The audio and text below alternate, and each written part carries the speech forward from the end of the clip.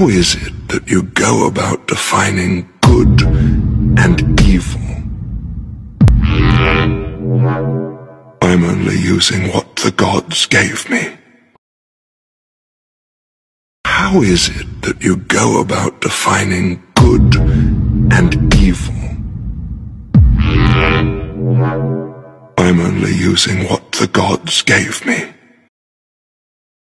Is it that you go about defining good and evil? I'm only using what the gods gave me.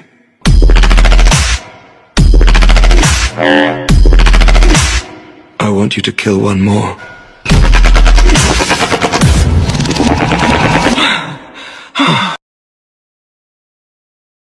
My style is a juvenile,